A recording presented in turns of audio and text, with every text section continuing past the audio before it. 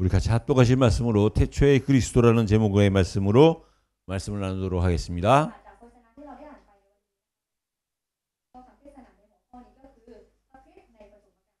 우리 동영상으로 같이 예배드리는 분들과 함께 우리 마태복음 16장 16절의 말씀으로 우리의 신앙을 고백하도록 하겠습니다.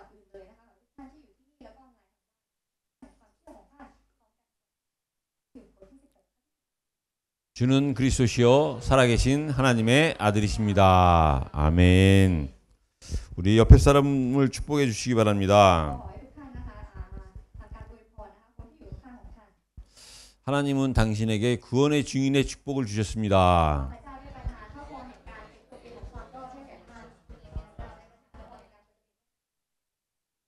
오늘 제목이요 태초의 그리스도입니다. 우리가 올 한해요 창조의 증인이 되기를 원하는 마음들입니다.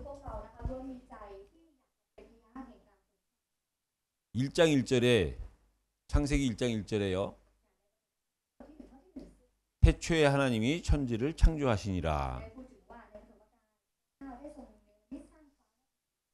그 태초에 뭐가 있냐면요. 태초의 뜻이 어, 히브리어 언어로 하면 베레시트라는 말이에요. 근데 그 뜻이 뭐냐면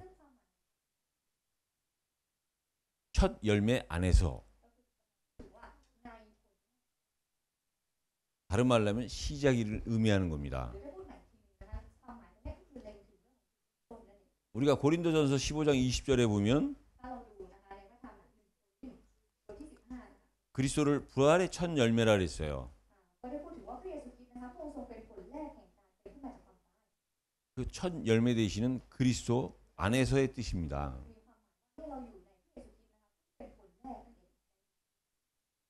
하나님이 천지를 창조하셨는데 그리스도 안에서 창조하셨다는 거예요. 그래서 저와 여러분들이 창조의 증인이 된다는 것은 곧 태초의 그리스도를 이해하고 그 태초의 그리스도의 증인이 되는 겁니다. 그래서요, 여러분들이요. 누가 창조주인가가 중요한 거예요.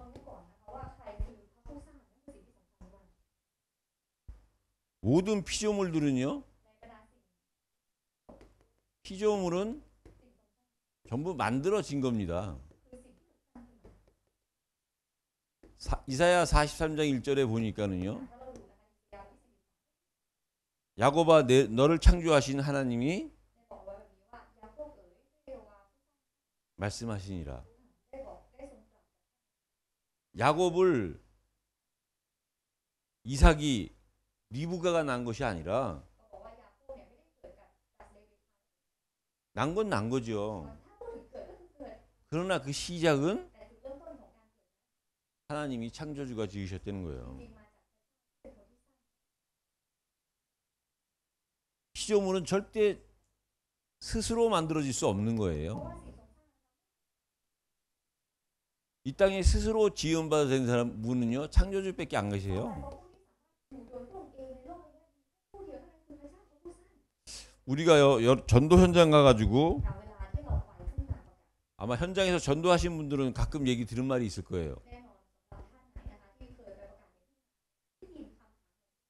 하나님이 우리 인간을 하나님이 당신을 지으셨다라고 하면 그렇게 물어보는 사람들이 있어요. 그럼 그 하나님은 누가 지었습니까? 여러분 거기에 대한 답이 있습니까? 우리가 믿는 하나님을 그 누군가가 또 지었다면은요?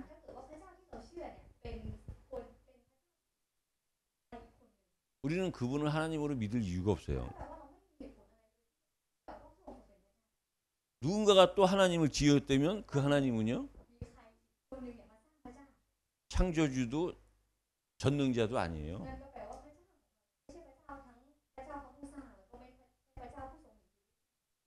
그러나 반드시 스스로 계신 분이 있기에 시작이 가능한 겁니다. 이 사실을 어떻게 우리가 믿겠습니까? 그 믿음이 은혜예요. 어떤 믿음이고 어떤 은혜냐? 창조주와 피조물 사이에 중보자가 되시는 그리스도.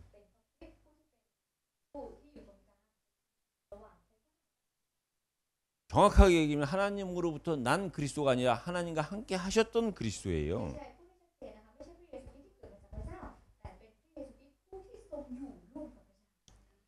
그 그리스도가 이 땅에 오심으로 우리가 그 이 사실이 믿어지는 겁니다. 그래서 여러분들이요 창조의 실제를 보면은요 지난번에 말씀드린 것처럼 무에서 유입니다.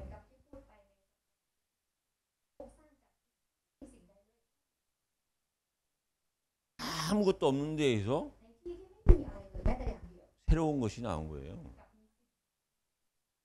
이 건물이요. 아무것도 없었던 데서 나온 건물이 새로운 건물이 아니라 있는 재료를 가지고 만든 건물이지요. 창조된 건물은 아니에요.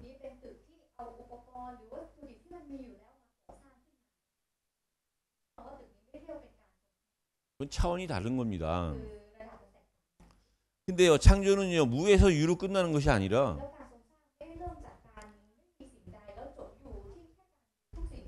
그 창조된 것을 갖다 관리하고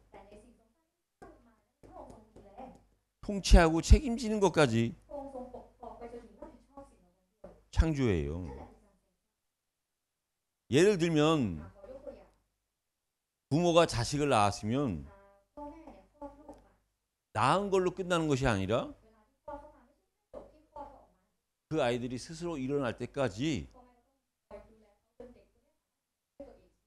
관리하고 인도하고 끝까지 책임지는 그것이 부모예요. 마찬가지로 우리를 창조하신 창조주 되신 하나님은 없는 데서 우리를 있게 하시고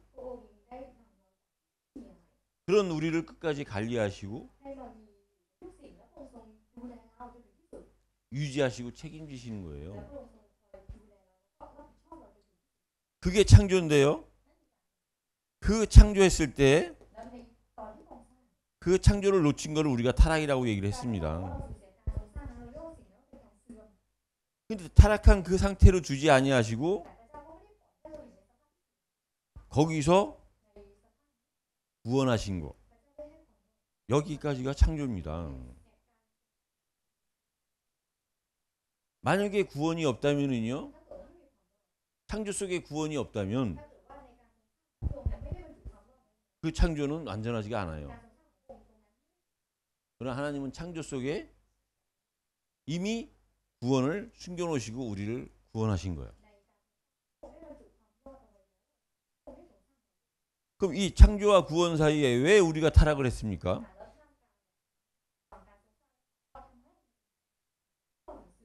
왜 아담이 타락을 했습니까?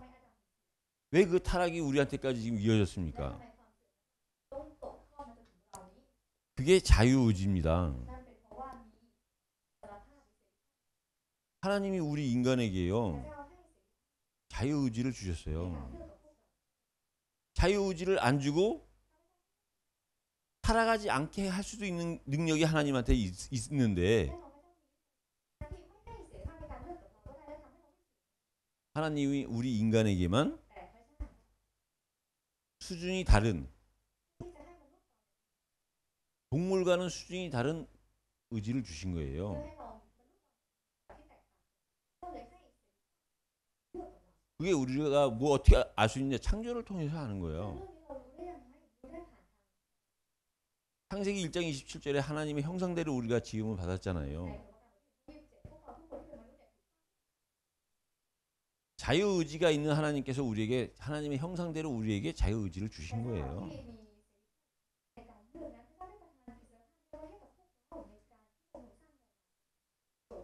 이따가 우리가 훈련 시간에 좀 더 세부적으로 얘기하겠지만요.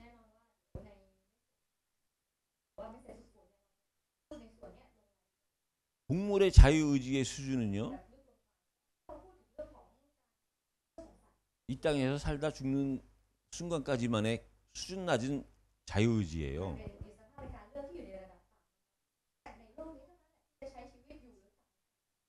그러나 하나님이 우리에게 주신 자유의지는요.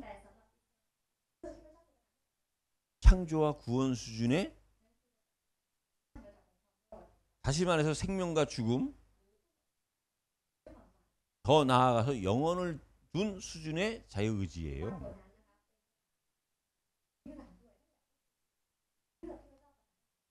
그래서 저와 여러분들이 창조의 실제가 무엇인지를 실제 이해하셔야 돼요. 창조의 목적이 뭐냐 이거죠. 창조의 목적은 하나님이 우리로 하여금요. 찬양과 경배를 받기를 원하시는 거예요. 그게 창세기 1장 27절 28절에 28절에 우리에게 주신 복입니다. 먼저 복을 주시며 생육하고 번성하고 정복하고 다스리라고 할 때요.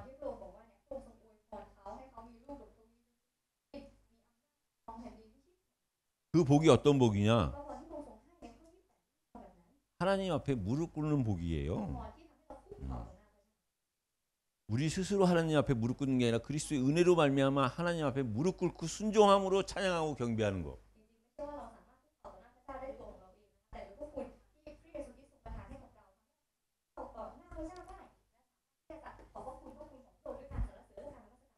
우리가 생각하는 세상의 복과는 완전히 다른 거지요. 세상은 물질이 복이고 권력이 복이고 인기가 복인데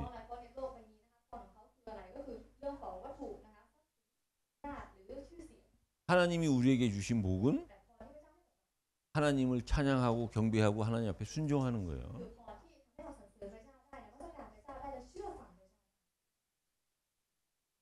그 복을요. 저와 여러분들은 어떻게 누리, 누리는 거냐? 영광과 즐거움으로 우리가 누리는 겁니다. 음. 우리 인간이 헬, 할 도리가 하나님께 영광을 드리고 그 하나님으로 즐거운 게 인간이에요.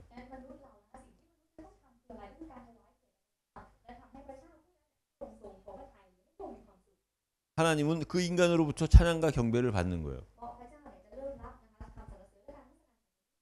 이걸 지금 우리가 우리가 지금 하고 있는 걸로 적용을 시키면요.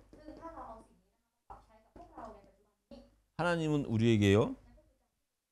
하나님을 찬양하고 경배하는 우리에게 말씀을 주시는 거예요. 우리는 그 말씀을 가지고요. 기도로 하나님과 소통하는 거예요. 이게 저와 여러분들이요. 하나님이 우리를 창조하신 목적이요. 그 목적 속으로 우리가 들어갈 때 비로소 창조의 증인이 되는 겁니다.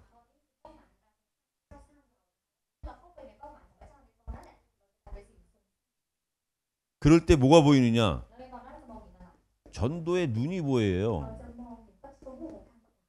전도의 삶이 보여요. 그 전도의 눈, 전도의 삶이라는 게 뭐냐? 지금까지 보였던 것과는 다른 것이 보여요. 이제까지는 육신적인 것만 보였는데 눈에 보였던 것만 보였는데 눈에 안 보이는 것이 보여져요. 여러분들이 지금까지 봐왔던 영화나 드라마를 보든 책을 보든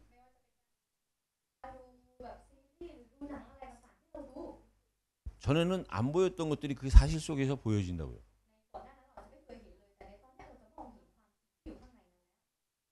남들이 볼 수 없는 것이 보여지는 거예요. 전체를 보는 눈이 달라지는 거예요. 그게 계속될 때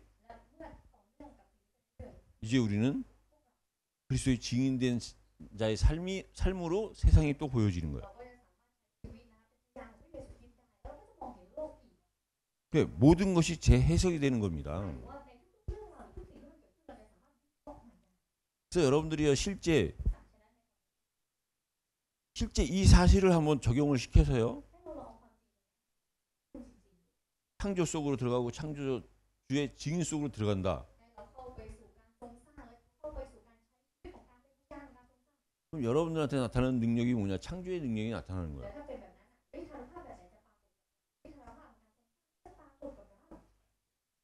창조의 증인이라는 게 뭐지요? 증인이라는 거는요. 결국 창조는 창조주가 있다는 거잖아요. 창조주가 있다는 건 피조물이 있다는 거잖아요. 똑같은 얘기죠. 피조물이 있다는 건 창조주가 있다는 거잖아요. 이 증인은요. 창조주는 아니지만 그 창조주에 대해서 들은 게 있고 본 게 있고 가진 것이 있는 게 증인이에요.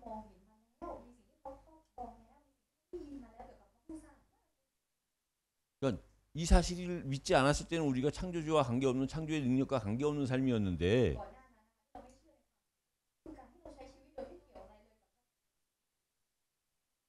실제 이 말씀을 믿고 이 말씀을 속으로 들어가면요. 세상이 알지 못하는 창조의 비밀을 알고 창조주를 아는 거예요.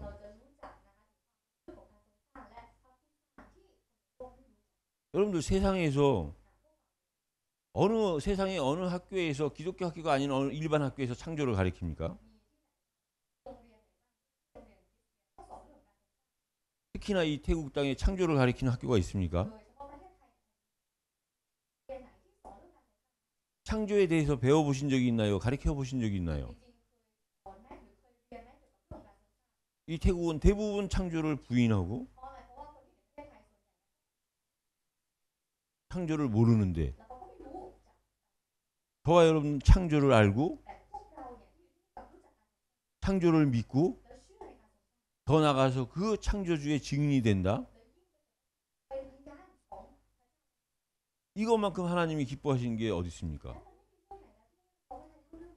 그럼 하나님에게 있는 그 창조의 능력이 누구한테 전달되겠습니까? 제가 지난주도 그렇고 이번주도 그렇고요. 아니, 생각할수록 대단한 거야. 야 사단이 어떻게 알고 이단들로 하여금 여호와의 증인이라는 이 단어를 사용하게 했을까?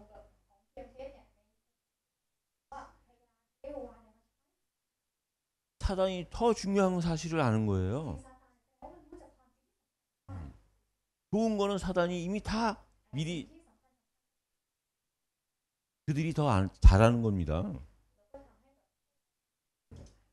정작 이 창조의 비밀은 창조의 그 증인의 축복은 우리가 받아야 되는데 우리보다 사단이 더 앞서서 이미 다 자기네들이 다 사용을 해버린 겁니다. 그러니까 여호와의 증인하면 간단할 걸. 우리를 이단이라고 하지 않겠습니까? 그러니까 그걸 놓치니까 더, 더 길게, 더 힘들게 설명을 해야 돼요. 여러분들 시작이요 끝이요 영원인 걸 믿으시기 바랍니다.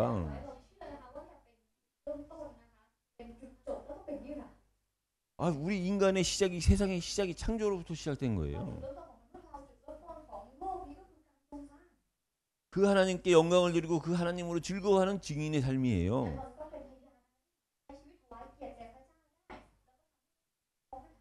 그게 우리 삶의 삶의 목표요 끝이에요. 그렇게 될 때 우리의 수준을 뛰어넘는 영원 속으로 우리가 들어가는 겁니다. 그래서 그 말씀을요. 우리가 고린도를 통해 전서 고린도 전서를 통해서 확인을 해 보면요. 그리스도 안에 있는 자. 사도 바울은요. 그 누구보다도 구약을 잘하는 사람이에요. 그래서 사도 바울의 모든 서신서 앞에는 뭐가 들어가 있느냐?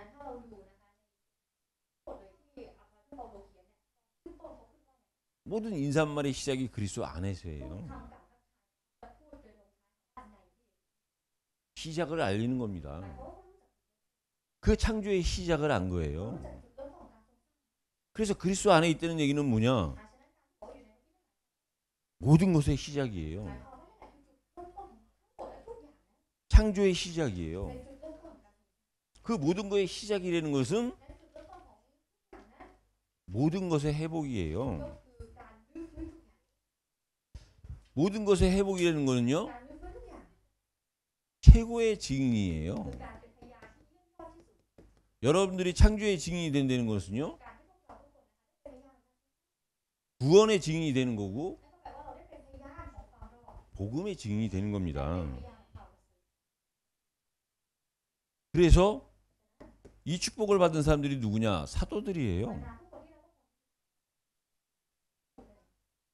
사도가 뭐냐? 하나님의 뜻을 따라 예수 그리스도의 사도로 부르심을 받은 자들이에요.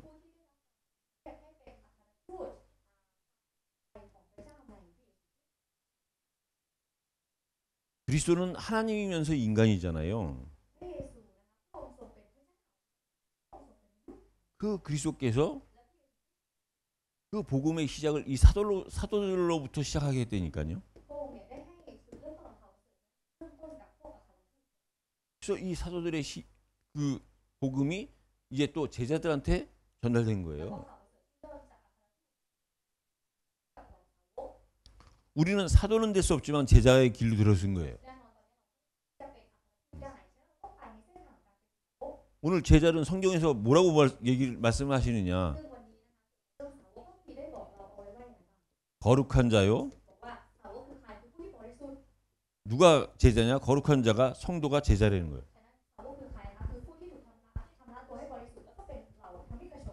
특별한 사람이 제자가 아니라 거룩한 자 성도는요 구별됐다는 거예요. 우리가 구별된 게 아니라 하나님이 우리를 구별시켜 주신 거예요. 그래서 어떤 자를 불렀냐? 우리가 이제 그리스도의 이름을 부를 수 있는 자예요. 여러분들이 기도할 때 그냥 그냥 그리스도 이름으로 그냥 기도하는 것이 아니라 그 부, 이름을 부를 수 있는 자격을 가지고 부르는 거예요.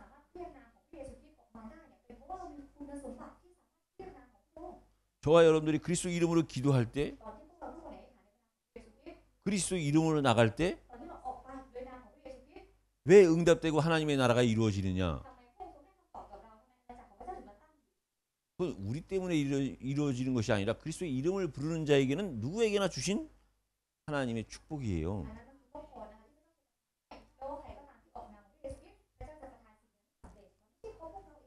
문제는 실제로 우리가 이 사실을 누리느냐 이거죠. 이런 사람의 특징이 뭐냐면 은혜와 평강이 임합니다. 음. 은혜와 평강이 임한 자의 특징이 뭐냐면 이사야 26장 3절에 나온 것처럼요. 경고한 자가 되는 거예요. 우리가 이 땅에 어떤 자로 살아야 되냐? 경고한 자로 살아야 됩니다. 그렇지 않으면 우리는 늘 흔들릴 수밖에 없어요. 그 경고한 자의 삶을 어떻게 살아야 되느냐? 그리스도 안에 있는 자로 사는 거예요. 그리스도로 시작하는 자예요. 누가 거룩한 자냐? 하나님의 기준이에요. 그리스도 안에 있는 자가 거룩한 거예요. 반대로요. 우리가 그리스도 안에 있지 아니하면 성경은 뭐라고 말씀하시느냐? 분쟁하는 자 속에 들어간다는 거예요. 우리는요. 각자 내가 있는 곳에서 그리스도의 이름으로 하나 된 삶을 살아야 되는데 그 그리스도 이름으로만 우리는 하나 될 수가 있는데 그 그리스도 이름을 놓친 그리스도 안에 있지 아니하면요. 우리는 분쟁 속으로 들어간다는 거예요. 그래서 오늘 성경은 뭐라고 얘기하느냐? 아볼로파, 바울파,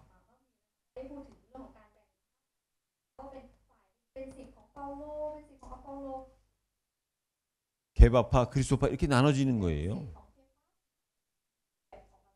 한 교회 안에 이렇게 크게 네 가지 파로 나눠진 거예요. 바울이 고린도 교회를 세웠으니까 우리는 거기에 참여한 자다고 기존의 그 기득권 자기네들이 있는 힘을 요구하는 바울파가 있고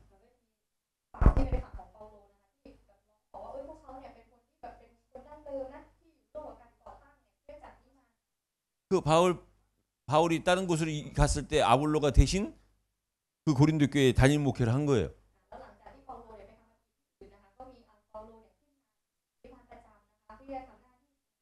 그러니까 또 이 아볼로를 따라가는 파가 있고요.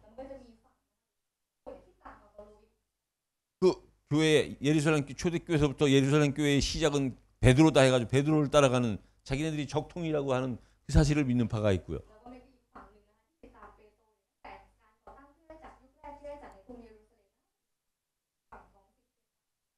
사도는 아니지만 그리스도의 말씀을 직접 듣고 그리스도의 기적을 직접 체험한 그리스도 파라는 그리스도를 믿는 그 그리스도의 파가 있고요.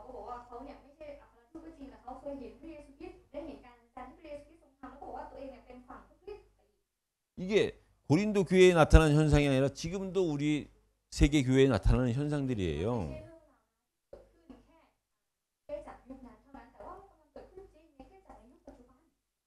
모든 대부분이 그렇지만은요. 교회의 적은 교회 바깥에 있는 게 아닙니다. 교회 바깥의 적은요 실제 적이 될 수 없어요. 교회의 적은 교회 안에 있어요. 왜냐 사단이 교회 내부를 건, 공격하는 거예요. 그건 마찬가지로요. 가정도 마찬가지고 우리 개인도 마찬가지입니다. 나의 최고의 적은 바깥에 있는 사람이 아니라 나 자신이에요.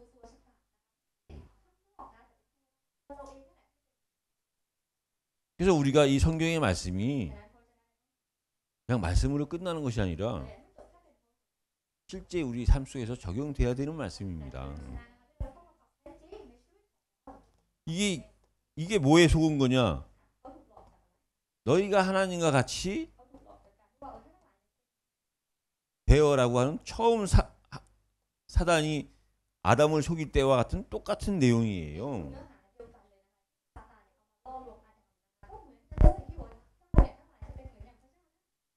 너희가 하나님과 같이 되어 이 말이 사단이요. 속인 게 아니에요. 결과적으로는 속인 거지만 틀린 말을 갖고 얘기한 건 아니라고요.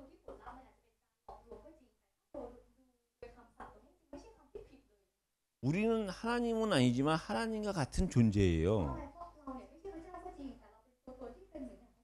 왜냐 창조를 보면 우리가 우리의 형상대로 우리의 모양대로 지었다 그랬어요. 형상도 모자라서 우리의 형상대로 우리의 모양대로 지었다고 말씀하셨어요.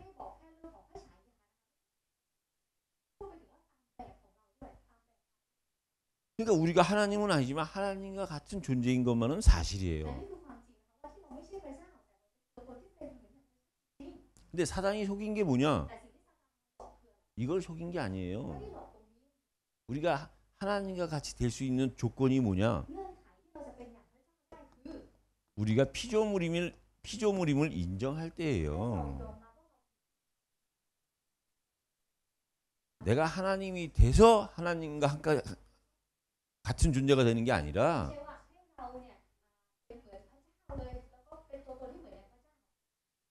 피조물로 지음받은 내가 피조물이라는 사실이 믿어질 때 창조주 하나님을 인정할 때 그때 하나님은요 우리와 함께 하시는 거고 그때 하나님의 능력이 내 능력이 되는 거예요. 그래서 우리가요 원네스 되는 방법이 뭐냐? 나를 아는 거예요. 내가 누구냐를 아는 거예요. 그래서 우리에게 필요한 게 뭐냐면 18절에서부터 나오는 십자가의 도입니다. 이 십자가의 도가요. 유대인들에게는 이 십자가의 처형이요. 꺼리낌이라 했어요. 꺼리낌. 유대인들은요. 그 예수님께서 십자가에서 죽으신 게 피하고 싶은 거예요. 왜 피하고 싶냐? 여호수아서 10장 26절에 보면요. 이스라엘 군인들을 대적했던 그 아모리 연합군 다섯 명의 왕이요.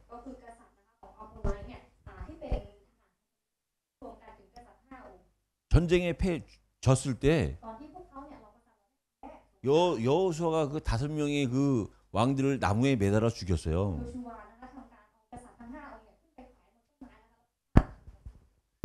여러분들이 아는 그 에스에서는요.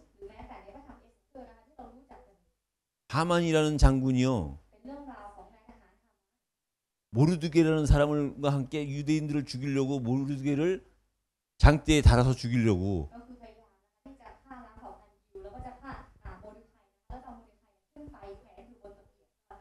모함을 했잖아요. 거짓말을 했잖아요. 근데 그 거짓말이 들통이 나서 자기가 만든 그 장대에 자기가 걸려 죽었거든요.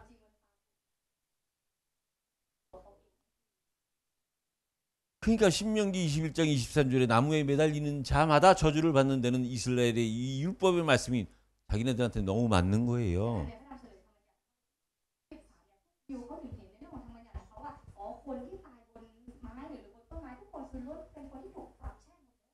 그러니까 이들에게는요. 꺼리낄 수밖에 없는 거예요. 헬라인에게는요. 헬라인은 지혜를 쫓아다닌다 그랬어요. 유대인은 표적을 쫓았는데 헬라인은 지혜를 쫓는다 그랬어요. 지혜를 쫓는 헬라인 입장에서 보면은요. 이 그리스도께서 십자가의 처형이요. 미련해 보이는 거예요. 아니 사람이 잘못을 했으면 그 잘못의 벌을 받고 죽은 죽는 게 맞는 거지. 그 사람을 대신해서 십자가에서 죽기까지 하는 게 이해가 안 되는 거예요. 미련한 거예요. 이 헬라인들은 이방인들 아닙니까? 아 여러분들 우리가 현장에 나가서 보면은 실제 이 사람들이 하는 얘기랑 비슷한 얘기를 많이 한다니까요. 우리 인간을 위해 당신을 위해 십자가에서 예수님이 죽으셨다 그러면 그게 미련해 보이는 거예요. 근데 구원받은 우리에게는요. 다시 말해서 하나님으로부터 선택받고 부르심을 받은 우리에게는 이 십자가의 도가 뭐냐 이거죠. 하나님의 능력이요 하나님의 지혜라는 거예요. 음. 그래서 십자가의 도는 다른 말로 하면요. 십자가의 말씀이에요. 우리가 십자가를 중심으로 보면요. 예수님께서 이 땅에 육신의 몸을 입고 오셨어요. 가장 낮은 모습으로 가장 추한 모습으로 그래서 십자에 매달리기까지 공생의 사역을 하셨어요. 우리 인간을 구원하시기 위해서 우리 인간의 모습으로 오신 거예요. 그리고 약속대로 십자가에서 죽으시고 약속대로 부활하시고 승천하셔서 이제 재림만 남겨놓는 상태예요. 그럼 하나님이 인간으로 오셔서는 똑같이 우리와 같이 24시 속에 있었어요. 근데 그리스도가 우리와 다른 건 뭐냐? 똑같이 우리처럼 인간의 모습으로 똑같이 생활하셨지만 그분은 뭐 눈먼 자를 눈을 뜨게 해주고 병든 자를 고쳐주고 사람이 걸어갈 수 없는 바닷길을 걸어간 거, 것이 목적이 아니라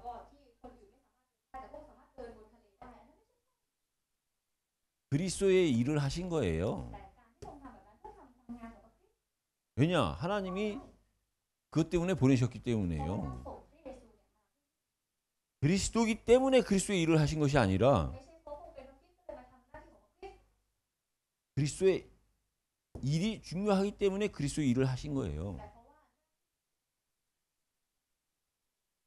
그 가정 속에 약속대로 이제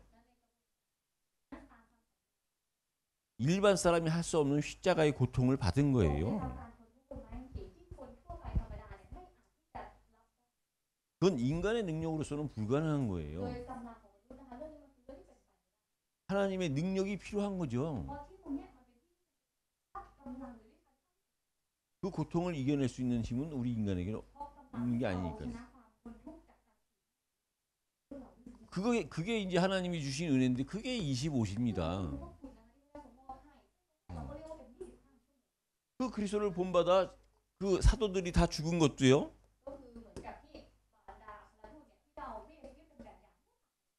이 사도들은 우리처럼 똑같은 사람인데 호배 잘려서 죽고 십자가에 거꾸로 매달려서 죽고 목이 잘리는 죽음을 당하고 이거는요 24시 하나님을 바라봤던 사람한테 하나님이 25시에 하나님의 능력을 주셨기 때문에 이게 가능한 거예요.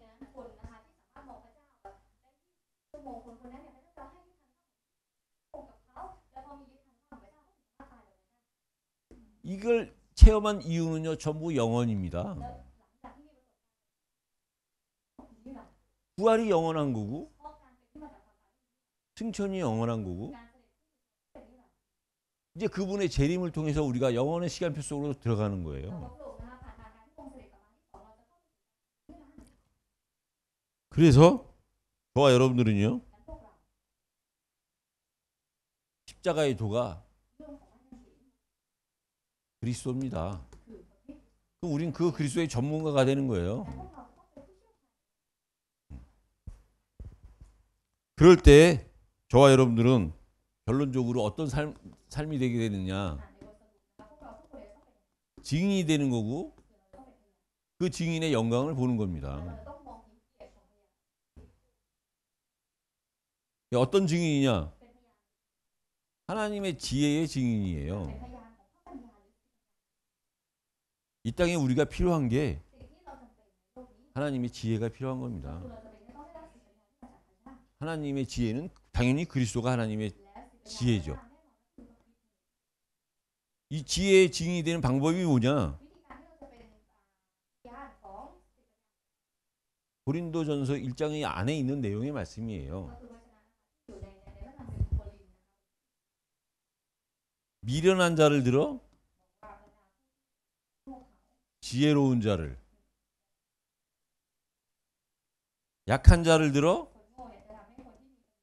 강한 자를 부끄럽게 하고 없는 자를 통하여 있는 자를 패한다 그랬어요. 그럼 지혜롭고 강하고 있는 자가 나쁜 거냐?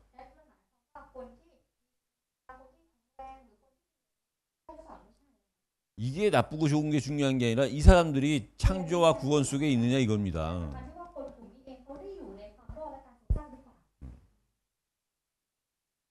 미련하지만 약하지만 없지만 우리가 창조와 구원 속으로 들어가면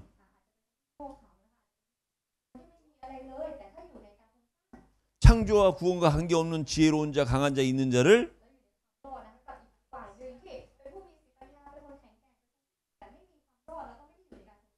부끄럽게 하고 패한되는 거예요. 우리가 이 일에 증인이 되는 겁니다. 그러면 우리가 그 증거로 자랑할 일이 생기는 거죠. 근데 자랑하되 어떻게 자랑하느냐 주 안에서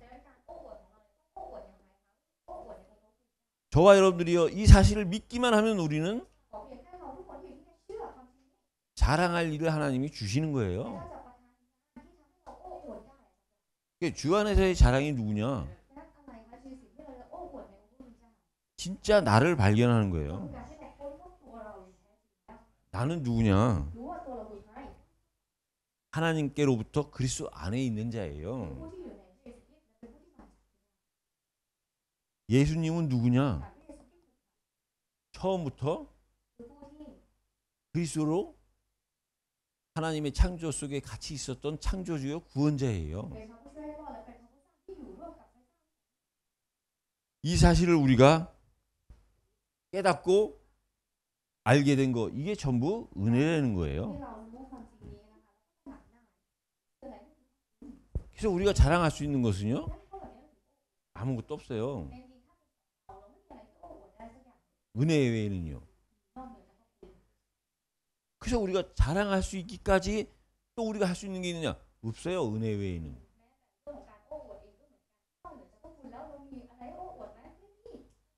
그래서 저와 여러분들이요.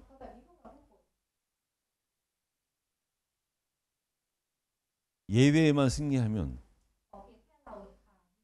그 예배 때 주신 말씀만 붙잡으면 이게 은혜가 은혜가 은혜로만 여겨지면 끝난 겁니다. 이미 우리에게 말씀을 주셨어요. 우리는 하나님의 시간표가 뭔 줄 알고 하나님의 것이 뭔 줄 알아요. 우리의 삶이 생로병사 우리의 처음과 끝이 다 하나님의 시간표 속에 있어요.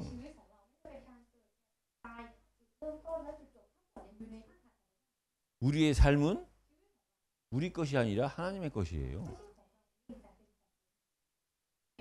왜냐? 하나님은 창조하셨고 창조주기 때문에.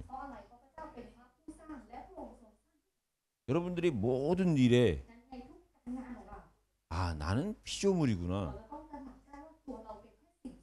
라고 하면요 정말 우리가 지금까지 한 것도 없고 지금 하고 할 수 있는 것도 없고 앞으로 할, 할 것도 없어요.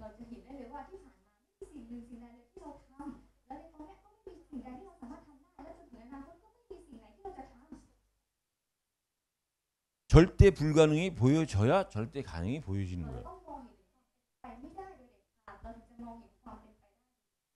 아직도 내가 할 수 있을 것 같은데 그럼 절대 불가능이 아니죠. 약간 불가능한 거죠. 그러니까 우리는 체험할 수 있는 게 약간 가능밖에 안 돼요. 우리가 진짜 하나님과 같이 되는 방법이 뭐냐? 나는 미련하고 약하고 없을 수밖에 없는 피조물이구나. 그럴 때 하나님의 능력이 내게 임하니까 미련한 우리를 지혜롭게 하시고요. 약한 우리를 강하게 하시고 없었던 우리를 있게 하시는 거예요. 그 모든 것의 시작이요 끝이 하나님이다. 그리스도 안에 있는 자. 그래서 이 사실이 믿어지면 저와 여러분들한테 맡겨주신 언약 774237이요. 그렇게 힘들지 않아요. 근데 이게 안 믿어지면 74237은 나와 관계가 없어요. 십자가의 도가 구원받지 못한 자에게는요. 꺼리끼고 미련해 보여요. 똑같은 십자가의 돈데 구원받은 자에게는 하나님의 능력이요 지혜라 했어요. 결국은 하나님이 우리에게 원하시는 건 뭐냐? 우리에게 주신 자유 의지예요. 하나님은 이미 말씀으로 세상도 이기셨고 사단도 이기셨고 당연한 거예요. 근데 누굴 못 이기느냐? 하나님이 여러분들 자신을 못 이기시는 거예요. 이유는 뭐냐? 자유의지를 주셨기 때문에요. 우리 어른들은 이해가 되실 겁니다. 우리 한국 속담이에요. 자식, 아들, 딸을 이기는 부모가 없다랬거든요. 거의 비슷한 의미예요. 우리를 하나님께서 우리의 형상대로 우리의 하나, 하나님이 우리를 하나님의 형상대로 하나님의 모양대로 지으셨기 때문에 그리고 자유의지를 주셨기 때문에 그 자유의지를 건드릴 수가 없는 거죠. 여러분들이 이 말씀에 순종해서 말씀 속으로 들어가느냐?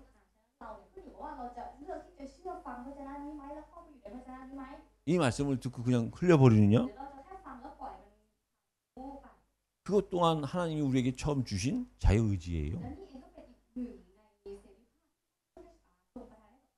그러나 그 자유의지 속의 선택의 결과는 당연히 다른 겁니다. 하나님이 우리 인간에게만 주신 엄청난 축복이 뭐냐 자유의지예요.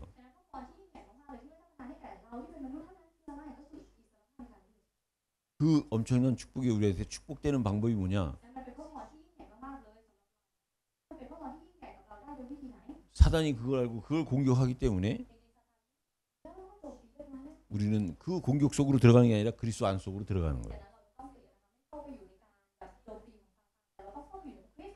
그래서 내가 그리스도 안에 그리스도가 내 안에. 그게 오직 그리스도입니다. 아무것도 하지 않고 오직 그리스도만 하는 것이 아니라 그 모든 것이 오직 그리스도 안에 있는 거고 오직 그리스도 안에 모든 것이 있는 걸 저와 여러분들이 체험하는 창조의 증인 되시기를 예수 그리스도 이름으로 축복합니다. 하나님 감사합니다. 올 한해 우리가 창조의 증인이 되게 하시고 어떠한 상황 환경 가운데서도 그리스도 안에서부터 시작되는 은혜를 허락하여 주옵소서.